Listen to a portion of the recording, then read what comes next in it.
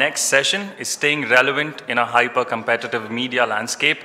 Is the industry doing enough? And our speaker is Norm Johnston. He's the global CEO of FAST, Global Chief Digital Officer Mindshare Worldwide. Uh, he has been involved in interactive marketing since graduating from Chicago's Northwestern University in 1988. After completing his MBA from Duke University in 1995, Norm joined the country's first digital agency, Modem Media, which revolutionized the advertising industry by placing the first banner ad on the internet. Uh, he joined Mindshare in 2007 as CEO, and in 2008, he was promoted to a broader global responsibility and currently manages over 2,000 digital staff in 115 cities around the world. Ladies and gentlemen, please put your hands together to welcome Norm Johnston on stage, please.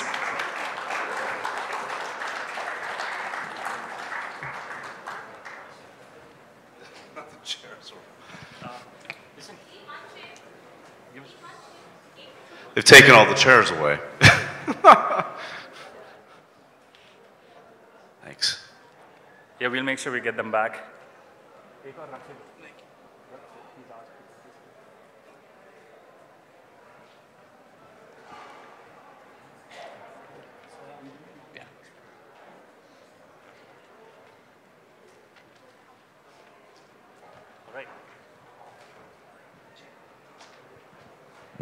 Check. All right, Norm. Hi. Welcome. Thank you. uh, this is on behest of Norm that I'm joining over here, if I may. Uh, how are you doing? Yeah, I'm good. I love coming to India. It's a short trip, but uh, I love. In, I live in London. I'm American, but I, we live. I live in London, and uh, I've been there for about 20 years. And we've got a lot of really good Indian food in London, which we eat quite often. But it's not as spicy as the food here. So I had lunch here, and I can't feel my tongue. It's been about an hour. My tongue is still numb, but the food was great. Yeah, we have a little spicy food in India. Uh, we like it, so we're not even apologetic about it, right, Mr. Sori? We don't really apologize for Indian food. Uh, but I'm glad you're enjoying your stay here. And is there anything you would like to say to the audience here before we start off with the interrogation that we have? Okay, all right. Sounds good. It's good. So do you have Yes. a few words for them? Uh, for, well, about what? What do you want About me to anything. Because I have my questions ready for you, so. Uh, well, I, I, you know, it's funny. It's, it's an, I've been in digital since pretty much day one, and I think it's just an extraordinarily exciting time. Uh, and it's funny because when I go to different markets, they're kind of in different spectrums in the kind of digital revolution. But you know, I think we're about to go through what I call the third wave of digital disruption. And the first being the desktop, second being mobile, which you guys know about very well, and the third is the Internet of Things, which I think is going to be a massive change uh, to what we can do in the marketing world. Um, and that's scary for a lot of people, but really, really quite exciting for, for me. And uh, you know, you can see that change in the way that we interact with technology, the intelligence through AI, the immersive nature in, in things like augmented reality. So I don't know, it's a great time to, to be in the business. And IoT is something that is being spoken about across all industries, actually. And, uh, well, I would love to know how it affects uh, the digital marketing scene as well. Uh, but I'm sure a lot of people have questions here, but we've handpicked a few uh, from really prominent marketers. We're going to have the questions uh, on screen for your benefit as well, uh, with the names of the people who have asked them. So I'm going to dive right into it now. Our first question is, how does a brand ensure that the user experience is consistent and positive throughout the digital transformation journey of the brand? And uh, yeah, as you can see, we have the question by Shruti Salvi, Assistant General Manager Marketing, uh, Mirc Electronics Limited. So, Well, it's, uh, I think, you know, the, as I mentioned, the, the second wave of digital disruption around mobile has been, it's been a really interesting thing to see that unfold over the last couple of years. And I think the challenge that, that we have with a lot of companies is that they often still think TV first, particularly the creative agencies. And uh, it's interesting that a lot of clients now bring media agencies at the very beginning of the process versus bringing us in a little bit later because we beat up the creative agencies quite a bit. And you know, simple things such as if you are creating a quote-unquote TV spot, you know, make sure it's it's built for mobile. Think about vertical formats. Think about sound that's off. Uh, think about the broader experience and ensure you connect it all together. And as we go through this third wave of digital disruption, you know, that, that challenge becomes even greater as we see brands begin to, to develop utilities and experiences uh, using things like the inter Internet of Things uh, technology. And I think a lot of the creative agencies really struggle with that. They not only struggle with mobile, they're now really struggling with this notion of having to develop much deeper embedded experiences. And hence you see the, you know, the emergence of the Accentures of the world and these companies that have really deep technical experience that can build those sorts of ecosystems. But of course, what they lack is the, the creative. They can bring the functional element, but not the emotive element. And uh, so it's got to be complicated if you're a client sitting there thinking, okay, I need something that's emotive, it's, it's creative, it changes opinions and shifts perceptions of the brand, but at the same time, I need technical chops as well. Uh, you know, the, the, the, one advantage of the Internet of Things uh, is that it brings a lot of data, and I do think the companies that, that do very well with this, you know, and this is, I think, another uh, shifted mindset, because when your consumers look at you, they're thinking about Uber and Amazon and Tesla and Apple, and they're not, so their benchmark is much higher in terms of the overall experience that they're going to have, and those companies are extraordinarily good at taking data and using data to inform what they do, whether that's content, uh, whether that's um, using it for media purposes or to refine or iterate on top of uh, the existing assets that they've got. And so I think clients also have to get much better at data and using that data to really try to find insight and then adapt very quickly. Uh, you mentioned the big names over there, and we all know how, uh, I mean, they use their data for influencing the choices you make online. But uh, are you saying that these uh, processes can only be implemented by the big guys or even small businesses that think of doing it can in some way manage that data? No, you know, the, the, the, it's, the notion of big data to me is a bit of a fallacy. I mean, you could, of course, having lots of data that you can use because it's statistically significant is a benefit. But sometimes you're taking little singular pieces of data and using that to, to, you know, to create better experiences. Uh, one example is Orbitz, which is a Swedish travel company. They have an app. So if you fly to Mumbai and you're looking for a hotel, they'll use one singular piece of data to refine the experience that they're going to give you. So how many, how many people in the room are Android users? A few of you. How many are Apple OS users? How many BlackBerry users? There's always one. There's got to be one BlackBerry user out there. There always is one. You can type fast. There's nothing wrong with it. Well, what Orbitz does is they'll take a look at your operating system. So if, if you're an Android user, they'll suggest a Holiday Inn. And if you're an Apple OS user, they'll suggest the Four Seasons because they know that Apple users tend to spend $40, $50 more on a hotel booking uh, than, than a non-Apple user. So sometimes singular pieces of data, it could be weather data has a huge impact. We know that, uh, for example, when it rains, you're likely to pay 56% more on a gym membership than not. So we have all these little statistical pieces of data that we can use to refine experiences, um, including media. All right. Uh, a second question is what can publishers and agencies do to battle the emerging trust issues in view of bots driving up impressions and Russia interfering in US elections? And this question comes to us from Apurva Chamaria, Vice President and Head Corporate Marketing at HCL. That's a, it's a political one, isn't it? I, I, I suspect the U.S. probably does similar sorts of things, so I don't want to judge Russia on that, but the, uh, it's been a difficult year. It, you know, and I've been in digital, as I said, since day one, so a lot of these issues have been around for a long time. You know, we've always had brand safety issues. We've always had issues with, with ad fraud. I think the big difference this year is that, you know, the digital budgets are now huge. So you go to the UK, over 50% of spend is now on digital. Uh, the number's about 35% globally. That'll go to nearly 50% by 2020. So it's big enough now that when these things happen and when you have on the front page of a newspaper an example of, of a big brand next to some ISIS content on YouTube, the CEO of the company sees it and the CMO sees it. So it's become a board level issue. And, you know, brand safety, for, for example, you know, the, the analogy that I use with that, it's like doping at the Olympics. You're never going to get rid of it. Someone's always going to come up with another way to dope.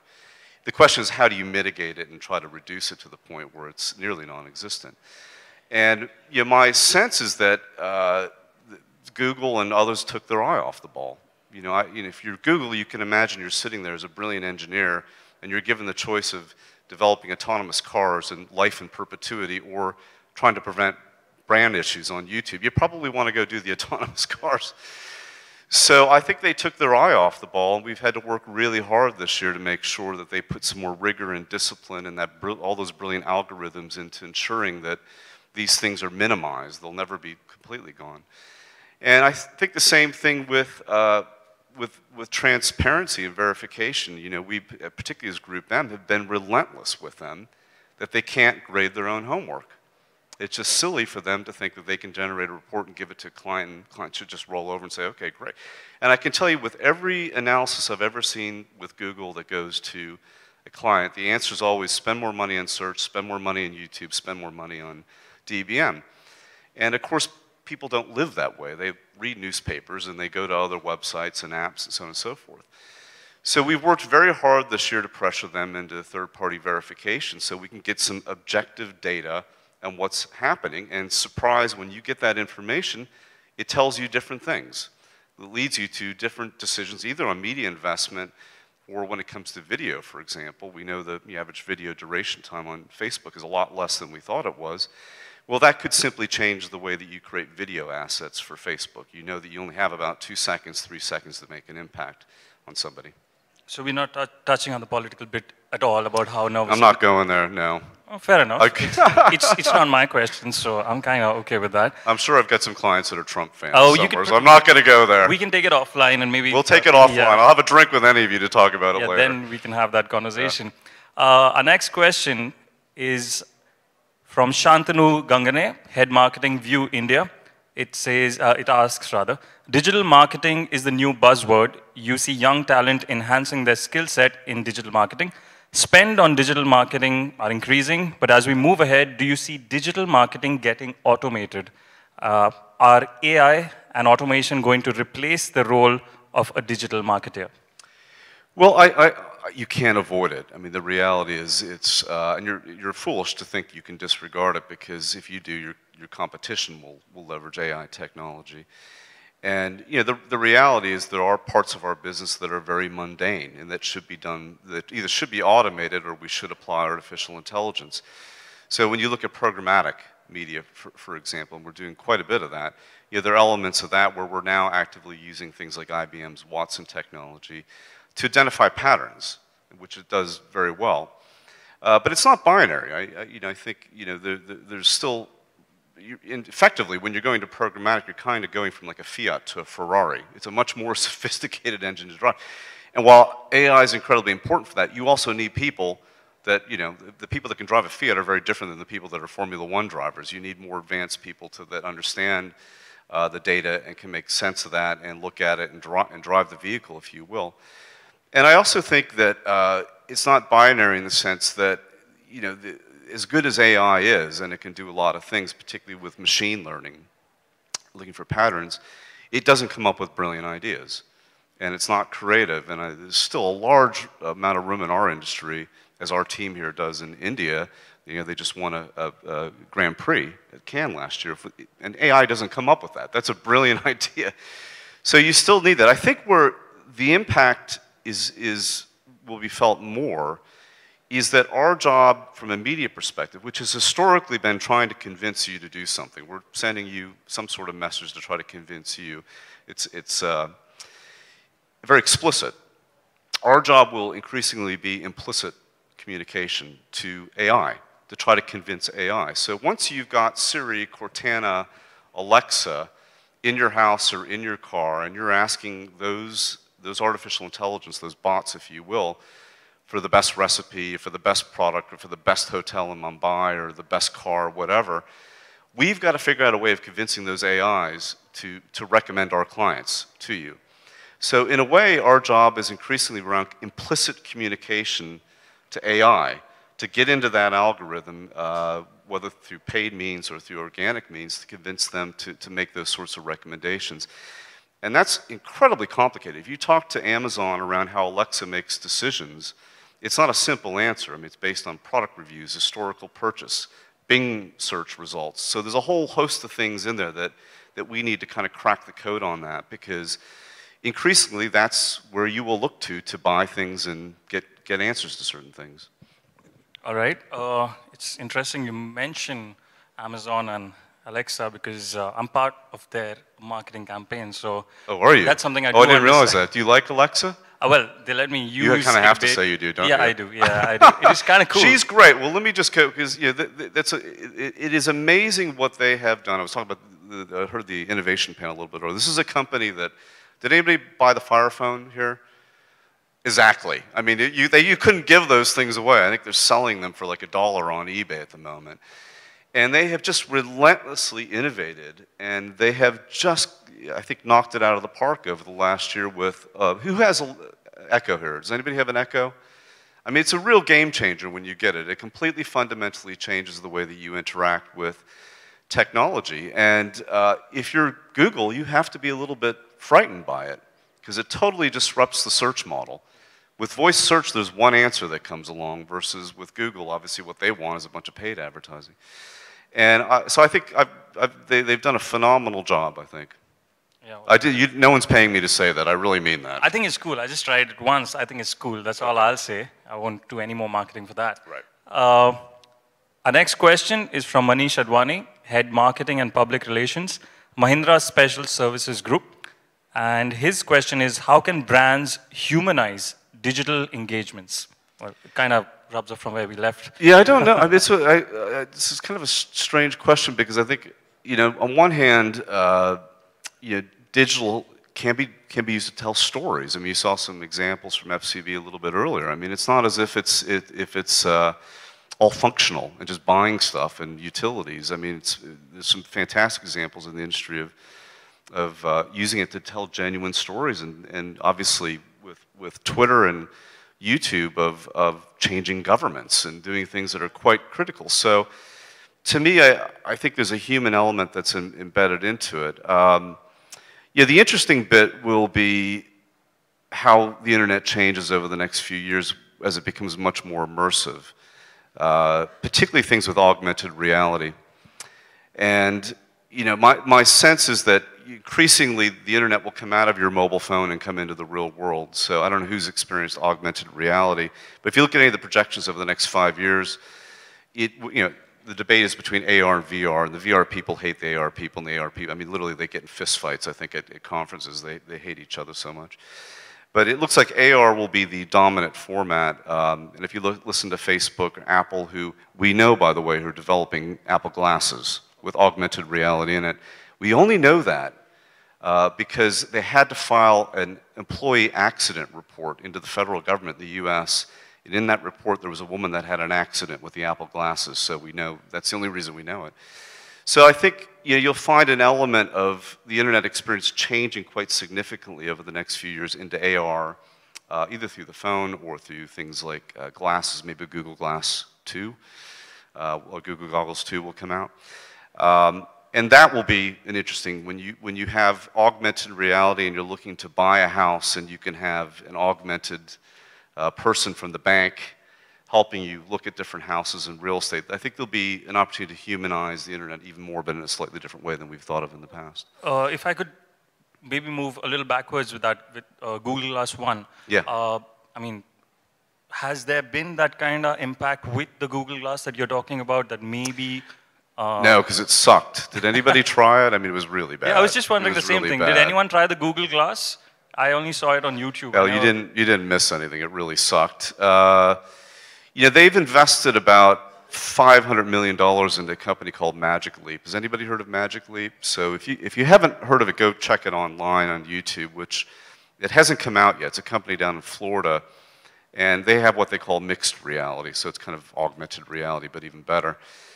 And my suspicion would be that if they come out with another iteration, what you see with Magic Leap will be what you see through, through the glasses. But uh, I, you know, I think my sense is augmented will be the, will be the next big thing. And you look at the combined AR VR market, it's, it's it's uh, supposed to be bigger than television by the year 2020 in terms of the, the different devices that will be sold related to AR, VR technology. So it's something to keep an eye on. I was just going to ask you that. That was going to be my next follow-up question of when do you see this happening till, but if you're saying 2020.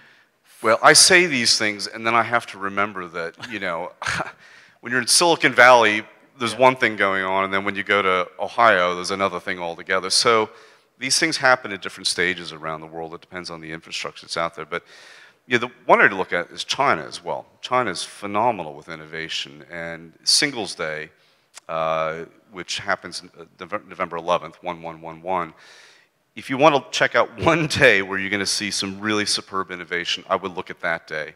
And last year, they did, Alibaba did a whole virtual reality shopping experience. Chinese love to go shop abroad. They love to come to London New York, and they did a complete VR shopping experience with Macy's in New York, and it's unbelievable. So you could literally, from your house in China, go shopping in different countries. So I would, I would look at that day as, if you want to pick one day in the calendar to look at innovation, pick that day. All right, we look forward to that.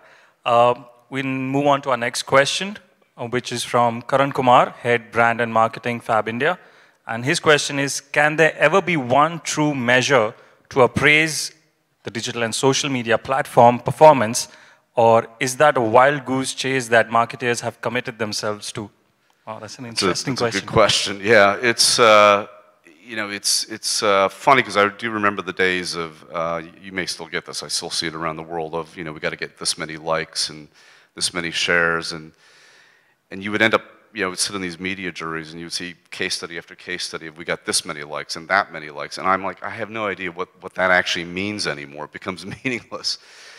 And I think we've got a, at least when it comes to social now, a much better sense as to what the actual impact of a like is. And the reality is it, it's not that impactful. Uh, most people that like, uh, like a brand, for example, or, or probably people that are going to buy that brand anyway. Uh, where the impact comes from is a friend sharing something to you. That is, we know that has an influence on, on your perception of the brand and, and uh, propensity to buy something. But yeah, the metric thing has been, uh, been around forever. Uh, and you know, it's, it, part of the challenge of being in digital is we can measure so much. You know, it's, and, and people think, oh, well, TV, it's so easy to measure. And you could look at Barb in the UK, the other uh, the other television-related metric systems, and they're really basic and they're full of flaws. And you know, you don't know if someone's gone off to the refrigerator to get a beer. But yet in digital, because we have so much data, the more data you get, the more you try to dig into it. I, I will say I think we're getting much better at two things. One is linking digital exposure into actual sales. So whether that's the Kantar panel in, in the US or a different panel, We've got a much better ability now to track whether it's actually shifted product off of a shelf or through de dealership. Uh, Amazon in particular, and this is why you saw the results today, I mean, they're now, you know, there's possibly a triopoly. We've got Google, Facebook, and now Amazon coming up uh, as, as one of the third, key third players in, in the digital advertising space. And the reason they're doing so well is just because of the proximity to, to buy, that, that collapse between brand and demand and the ability to see something and then very rapidly go by. And of course, they're uniquely positioned to go ahead and do that. And I also think we're getting much better at, at attribution overall. So an understanding of, you know, a couple years ago, Google would take all the credit for everything that was ever done online, and now we know actually no exposure uh, of, a, of an ad, a video ad, or display ad elsewhere does count to, the, to that overall purchase, or the fact that there's more than di digital, that we know that, that, that television has an impact or print has an impact. We can see the correlation between running ads in a newspaper or television with some increase in activity online. So you can use that as a proxy metric to, to assess the performance of how you're doing in, in your overall media. We have an example in the UK, uh, Kimberly Clark, one of our big clients, where they actually adapt the television campaigns based on the digital data.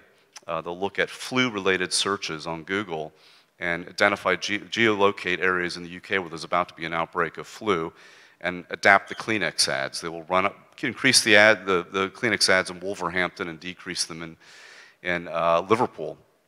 Uh, so, so I think it's not only just getting better within the metrics in digital and more sophistication around things like social, but also an understanding of how we can use some of those proxy metrics to, to improve your overall performance. Having said that, I guarantee you there will be another like next year. There will be another thing that will come up, and everybody will chase the new shiny object and clamor all over it. So you can't really stop it. So I think we can sum that up as saying that there is no one specific measure, but you can see a relatability between uh, the digital exposure you have and the sales that are you're eventually getting made now? Well, the, the, the ultimate metric for us will vary. It's the outcome that you want. Uh, what I will say is that even for those clients that have been traditionally very brand focused around shifting your perception of the brand or whatever the, the metric may be, they're now much more focused on the ultimate outcome on purchase. And they have the ability now to, to do that through better attribution. So there's no hiding anymore. You, you really have to, the data's there to scrutinize what's working and what's not really working. All right, so you know what's working with the amount of purchases being made.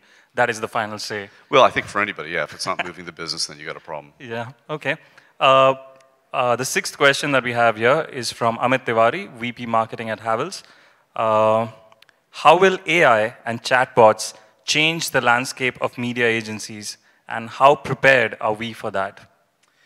Well, yeah, we kind of covered that one a little bit earlier. I mean, I will say the uh, the one thing that we're seeing right now is the is it's kind of related to AI's voice. Back to Alexa again. I won't hammer on about Alexa too much, but uh, the the shift in the number of people, particularly millennials, that are comfortable talking to Alexa and to a device. I don't know about you, but I don't do a lot of voice searches. I feel like a bit of an idiot when I put my phone out. No, neither do I. Who's done a voice search here? Anybody? Right, a few of you. Okay, well that's good because I feel like an idiot when I do it. But when you look in the U.S., 40% uh, of uh, uh, smartphone searches are done by voice. That num number goes up to about 50%, 56% with millennials. Two thirds of all search will be done by voice by, by 2020. So there's a huge shift in the way that, that people are interacting with the technology. When you look at the 52 billion objects that will be connected to the internet by 2020, cars and fridges and all that, only 5% of them will have a keyboard. So in most cases, you're, you're going to talk to, to Alexa or, or Cortana or Google to get something done. And that has a huge change on a lot of things. One is the creative experiences. You know, when, when people are not swiping and typing, you know, how do you create a, you know, we did a, uh, a uh, Amazon Echo skill for Hellmann's in the US, which is a mayonnaise for recipes. So it's a completely different way of thinking about the experience because it's all voice interaction. Uh, it changes the way you optimize for search, and not many people do this right now. They still think of search keywords as text keywords. Natural language queries are, are much longer. You need to think about your own voice. And I always laugh because, honest to God, in this industry, there, there are always three categories, verticals, that lead every innovation when it comes to digital. It's usually gaming, poker, it's usually pornography, and the third one's pizza. And I'm only going to talk about one of them today, but everything that's happened is, you know, video streaming, click to call, you name it, happens there. And when you look at uh, Domino's Pizza, for example, in the US, uh, their app that's on the phone is all voice interaction. It's called Dom. When you open up the app, you can talk to Dom, you can order pizza through, through Dom. And what they've done, getting back to the first point, is they've done a phenomenal job of integrating themselves into this holistic experience. When you order a Domino's pizza and you connect it into your Nest system, it automatically turns off the sprinkler when the, when the delivery man arrives. It automatically rings the doorbell to alert you that the, the, the pizza's there. And I think you're going to see a lot more of that. And it's kind of turning the whole model upside down because in a world where we're so busy, we have so many things going on. I don't know about you, but like every time somebody says, oh, you have to watch a program on Netflix, I kind of groan because I think, oh my God, I got to add that to the list of 70 other programs that people tell me to watch. And then it's great when you don't, when you watch the first episode and you don't like it. It's, it's almost a relief, like, oh my God, I don't have to worry about the other 20 episodes. So in a world where we have less attention span and more things going on, companies like Domino's who just do things for you, they make it easier so whether that's your coffee machine automatically reordering capsules for you, or your washing machine automatically reordering Persil, or whatever the case may be, I think those are the companies that will be most valuable. That will be the ultimate advertising in, in the sense of uh, the, the brands that you talk about will be the ones that just less clutter and more helpful things uh, to let you get on with your life. Understood.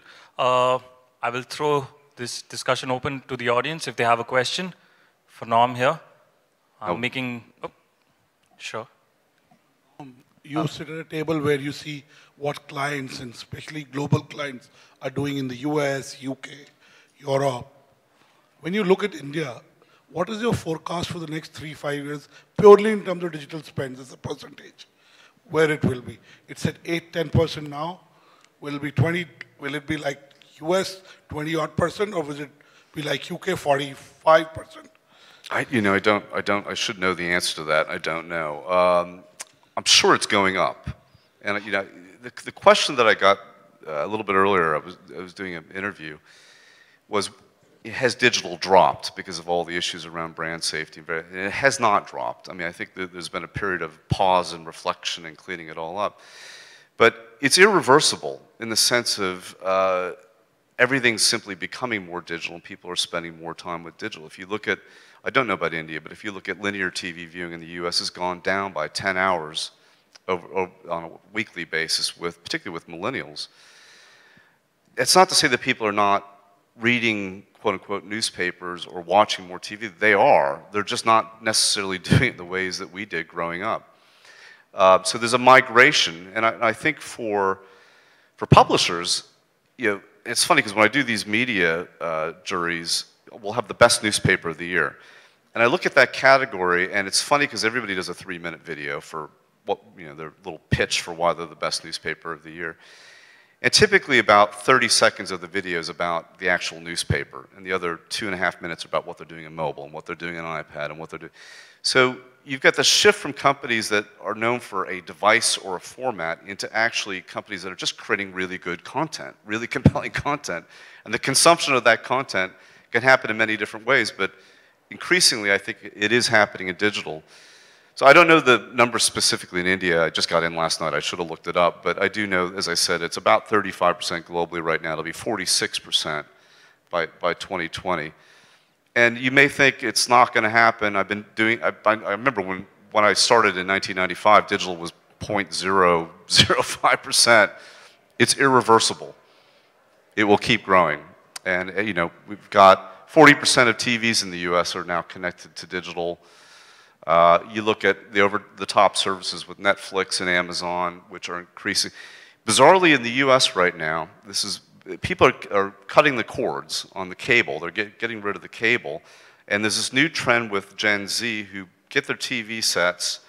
Um, they basically use Netflix or they'll get the uh, Amazon Prime or they'll get uh, Apple TV uh, to watch all their content. But every once in a while, there's a sporting event that comes along that they can only get through linear TV. So they're buying antennas, old fashioned rabbit ears, and putting it on their TV. Antenna sales in the US have gone up dramatically. Now, the question is the moment the cricket and the moment the World Cup and the moment the Olympics get bought by Amazon, game over. I mean, linear TV will, will, will subside, at least in the US. I don't know about here. And Amazon will pay a lot of money for that because the only thing they care about is you subscribing to Amazon Prime because once you subscribe to Amazon Prime, you'll buy twice as much on Amazon, if not three times as much, according to McKinsey. That's the only thing they care. They don't care about the advertising. They don't care about anything else. Uh, so once those rights come up, which they will happen over the next 10 years, look for Apple to buy them, Google to buy them, Amazon to buy them. They can buy them globally if they want to, and they've got the pockets to do it. And that will be the moment when linear TV which frankly most countries right now is only there for live event, live events. That will be the moment when there'll be issues. All right. Um, yeah, we.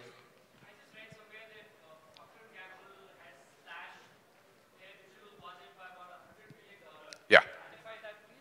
would you be able to sort of throw some light on that? Is it, is it? Yeah. It goes back to the probably the, because of safety issues. Yeah, but if you listen to what Mark Pritchard says very carefully, he, he's not abandoning digital.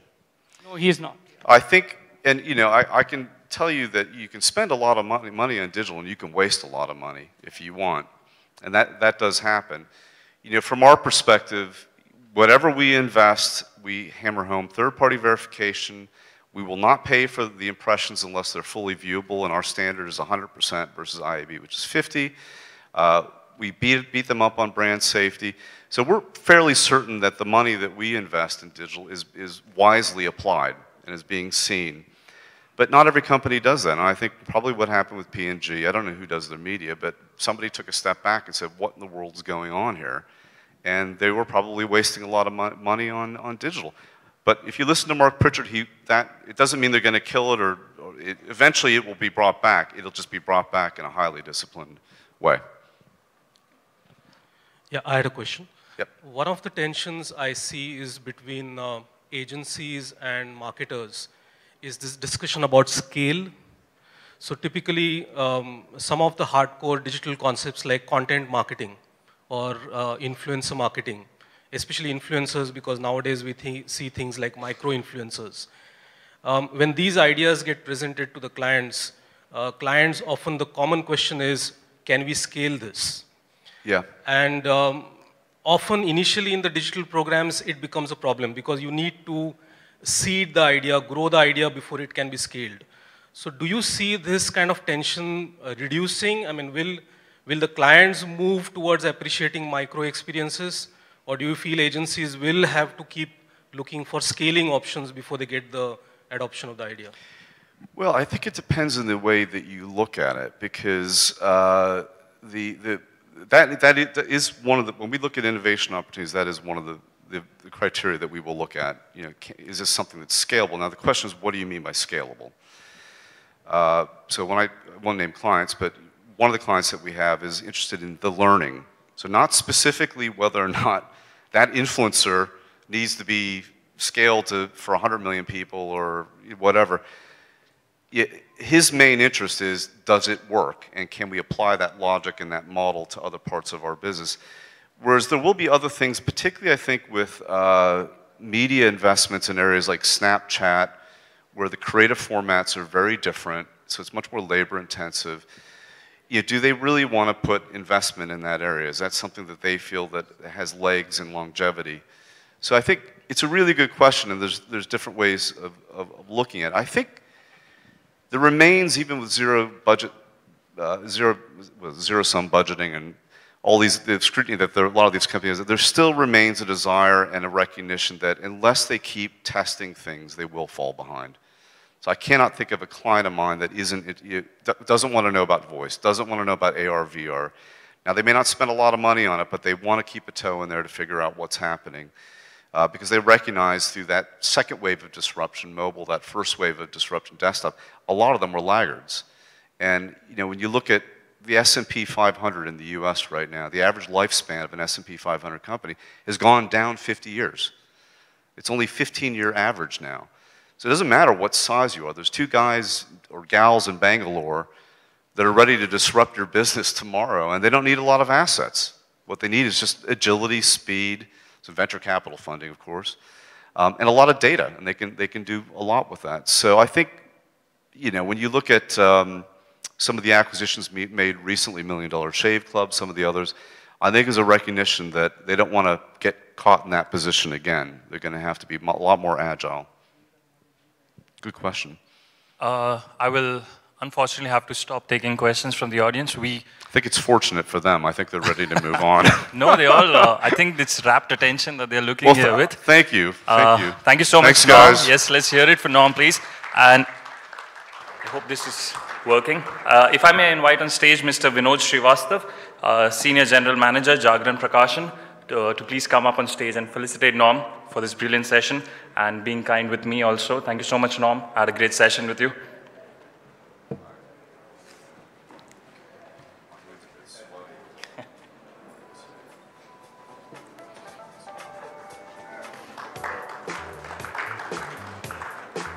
Thank you so much, Mr. Srivastav, and thank you so much, Norm.